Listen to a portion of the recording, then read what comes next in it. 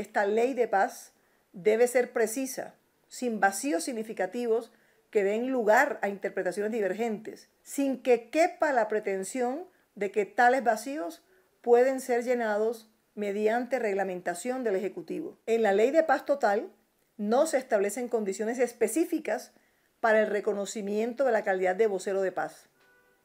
Así, no se expresa el vínculo que debe existir entre un individuo y una organización de crimen de alto impacto para que pueda ser reconocida como vocero de paz y por esa vía recuperar su libertad. La ley no tiene en cuenta que la articulación institucional es diferente en tratándose de negociaciones con grupos armados al margen de la ley en comparación con los acercamientos con organizaciones criminales de alto impacto. La ley regula de manera uniforme las conversaciones con ambos tipos de grupos y permite que el gobierno realice diálogos con organizaciones criminales de alto impacto que incluyen beneficios tempranos propios de la justicia transicional. Me permito reiterar ante ustedes, señores miembros de la Corte Constitucional, respetuosamente, la solicitud de inexequibilidad de la Ley 2272 de 2022.